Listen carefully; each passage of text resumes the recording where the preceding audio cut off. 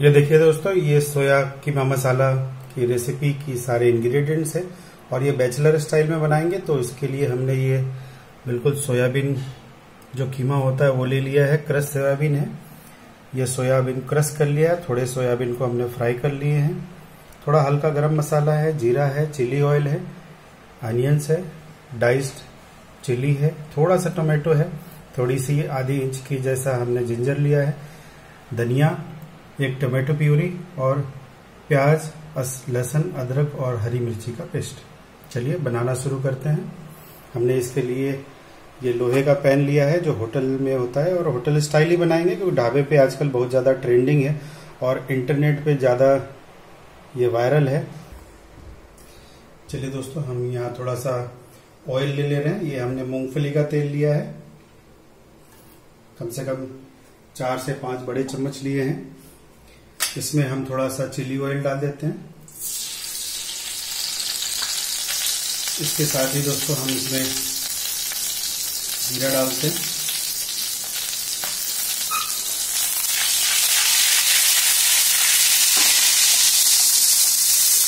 जीरा जैसे क्रैकल कर जाए, हम ये सारे खड़े मसाले डाल देंगे इसमें। इसको भी हल्का सा सौटे करेंगे। झटपट बनने वाली रेसिपी है। और ये बैचलर्स के लिए बना रहा हूँ, जो बैचलर्स हैं, जो हॉस्टल में रहते हैं, अकेले रहते हैं, ये उनके लिए है। और ये फटाफट रेसिपी है और झटपट रेसिपी है। तो अब देखिए, मैं इसमें ये अनियंस डाल रहा हूँ। और हरी मिर्च भी डाल देंगे। और ये जिंजर भी डाल देंगे। और थोड़ा सॉटे करेंगे।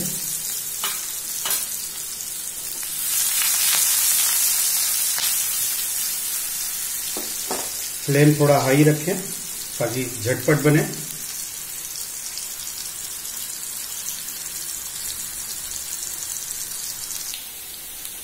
ये देखिए, थोड़ा सा हो गया हमारा प्याज हल्का लाल। अब हम इसमें सारी ये हमारी मिर्ची, अदरक और लहसुन का प्यूरे डाल देंगे।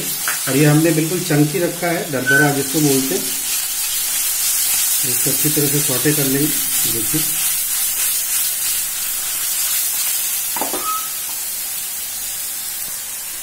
ये देखिए दोस्तों थोड़ा सा हो जाए तो हम इसको अगर हम फाड़ देंगे, ये देखिए, अच्छे से स्मोक भी आया। और घर पे ये टेक्निक है कि आप पैन के साइड में थोड़ा सा हीट कर लें और थोड़ा सा आप पानी हाथ में लेके स्प्रिंकल कर लें, आग अपने आप लग जाएगी।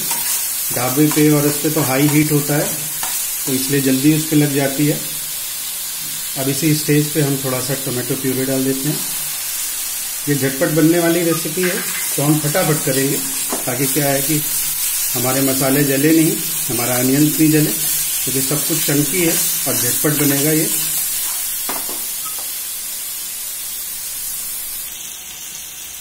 ये देखिए गाइस ऑयल सेपरेट हो रहा है। अब हम इसमें ये चिली पाउडर डालेंगे। आप कश्मीरी चिली डाल सकते हैं, लेकिन मैं यहाँ पे मथानिया डाल रहा हूँ, क्योंकि राजस्थान में मथानिया चिली बहुत अच्छी मिलती है, क्योंकि ये हीट नहीं देता और कलर खूबसूरत आता है।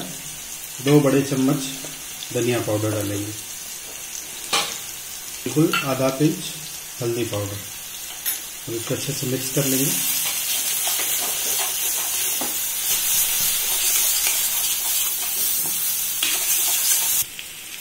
इस स्टेज पे दोस्तों हम सेंधा नमक डालेंगे। क्योंकि सेंधा नमक में 99 प्लस मिनरल्स होते हैं दोस्तों। और ओल्ड एज के लिए और हार्ट के लिए, हेल्दी हार्ट के लिए अच्छा होता है। इस स्टेज पे हम थोड़ा सा पानी ऐड कर देंगे थोड़ा सा ताकि हमारे मसाले जले नहीं मिक्स कर लेते हैं। इस स्टेज पे दोस्तों थोड़ा सा कसूरी मेथी ऐड कर देते हैं। और साथ में पौना कप जो है फेटी हुई दही। और इसको तेज़ी से आपको चलाना है, नहीं तो दही फट जाएगा। फिर आप कहेंगे, हमने आपको बताया नहीं। तो हमने बताया था दोस्तों कि दही फट जाएगा। और ये लीजिए, बिल्कुल ग्रेवी तैयार हो गई। अब इस स्टेज पे एक मिनट सिर्फ़ भुनेंगे।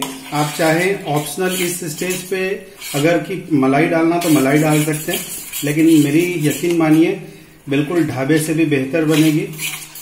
और ढाबे पे ये रेसिपी ढाई सौ की एक प्लेट बिकती है। और बड़े बड़े रेस्टोरेंट में more than seven hundred five hundred four hundred अलग अलग रेस्टोरेंट अलग अलग चार्जेस होते हैं। लेकिन यकीन मानिए, सौ रुपए में आपको दस लोगों के लिए यह सफिशियंट है। ये मेरी गारंटी है। ये देखिए गाइस पूरा ऑयल सेपरेट हो गया है और सीधा कलर गाइस कितना सुंदर कलर आया है। अब इस स्टेज पे हम जो क्रस्ट हमारे सोया कीमा है, वो डाल देते हैं। और इसके साथ साथ हम ये जो ग्रेनुअल्स है सोयाबीन के, ये भी डाल देते हैं। और ये इजीली बाज़ार में मिलता है, नहीं मिले तो आप क्रश कर सकते हैं। और और अच्छे से इसको मिक्स कर देते हैं। एक मिनट भुनने के बाद इसमें पानी ऐड करेंगे। देखिए गाइस ये पूरी अच्छी तरह से एब्जॉर्ब हो गया। अब ये ड्राई वाले भी डाल देते हैं और इसको थोड़ा सा मॉइस्ट करने के लिए पानी डाल देते हैं और पानी डाल के एक मिनट ढक के पकाएँगे इसको। तो ये देखिए गाइस हमने ये ढक्कन हटा दिया है। कितना सुंदर कलर आया है और यकीन मानिए खुशबू भी उतनी आ रही है। दोस्तों, इस स्टेज पे आप चाहें तो गरम मसाला ऐड करें। मैंने यहाँ गरम मसाला नहीं डाला है। अब हम अपना प्रिय मित्र, धनिया डाल देते हैं, गैस को कर देते हैं बंद, और इसकी गार्निशिंग कर देते हैं। दोस्तों, मैं इसको अलग से प्लेटिंग नहीं करूँगा, क्योंकि ये ढाबा स्टाइल है। आप चाहे तो क्रीम ऑप्शनल है, डालें या ना डालें, आपकी मर्ज़ी। लेकिन यकीन मानिए, थोड़ा डाल दीजिएगा, रिच हो जाएगी तो अच्छा रहेगा। तो दोस्तों, ये कैसी लगी रेसिपी? और आपको पसंद आई हो बिल्कुल बैचलर्स, ये आपके लिए है। और अगर आपको रेसिपी पसंद आई हो तो लाइक करें शेयर करें सब्सक्राइब करें और कमेंट करना ना भूलें कि आप मेरी रेसिपी को किस शहर से देख रहे हैं। तो लीजिए, मज़ा लीजिए सोया कीमा मसाला का। और ये बहुत ट्रेंडिंग है, इसमें कोई रॉकेट साइंस नहीं है। इंटरनेट पे इसको कॉम्प्लिकेटेड बताया जा रहा है कि ये रॉकेट साइंस है इंटरनेट पे ऐसी ऐसी बातें बोली जाती है, कुछ भी नहीं है। Within six minute seven minute में बन जाएगी। प्रिपरेशन करने में दस मिनट का समय लगेगा आपको। तो मज़ा लीजिए और आज संडे है। संडे इज़ फंडे एंजॉय कीजिए। Bye bye